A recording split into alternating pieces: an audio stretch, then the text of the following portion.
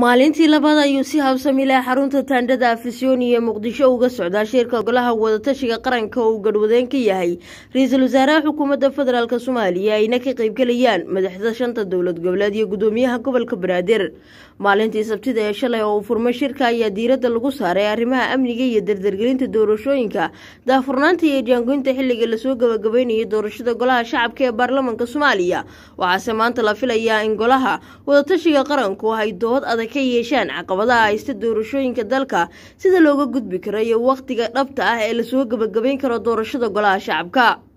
Dhowr jeer oo kala duwan jadwalle isdaba socday oo soo baxay ayaa fashil guud ahaantood ku soo idlaaday iyadoo aysan dhammaystirmeen mudanayaasha golaha shacabka xataa aan la dooran kuwii ugu badnaa shacabka soomaaliyeed iyo sidoo kale beesha caalamka ayaa si weyn waxa ay u dhur sugayaan natiijada shirka golaha wadatashiga qaran kaasoo lagu jaangoyn doono howlaha doorashooyinka si looga gudbo xiisada siyaasadeed ee ka jirta soomaaliya shalay markii uu shirku soo idlaaday afhayeenka xukuumadda soomaaliya oo warfidiyeenka ka hor muuqday ayaa tilmaamay in dhammaadka shirka uu soo bixi doono war-saxaafadeed lagaga warami doono waxyaabihii shirka ka soo baxay.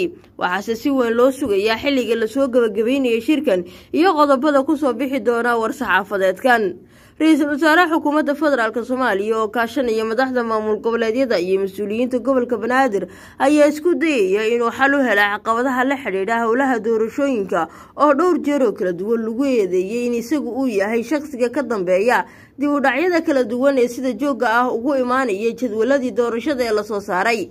Ra'iisul wasaaruhu waxa uu sheegay inay ka go-an tahay qabashada doorasho lagu wada qanacsan yahay oo ku dhacda wakhtiga ugu macquulsan islamarkaana bulshada soomaaliyeed ay si diiran u soo dhoweyn doonto.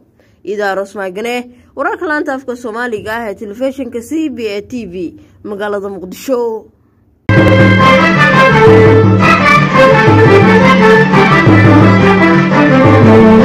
hadal. oo hadal oo hadal oo ku hadal. Bishii oo dhan toddoba dollar. oo keliya. Ku darso fariin kasta oo aad dirtaana waa kuu bilaash.